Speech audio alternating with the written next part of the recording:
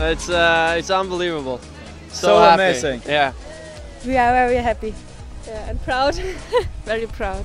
Uh, the medal race went pretty good. Uh, we managed to keep the French guy in the um, in the back of the fleet, and uh, yeah, that's we won. That's why we won. It was a little bit stressful. we, we didn't think so much. Our brain was off and we only thought about not to be one of the last, to keep the points. I think the regatta's been great here. The sail- new sailing centre is fantastic. They've done a wonderful job, and we just hope that we can do equally as well in Auckland next year. The um, Junior Worlds are in January in, at Takapuna Beach in New Zealand.